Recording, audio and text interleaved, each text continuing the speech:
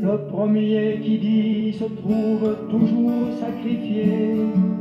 D'abord on le tue,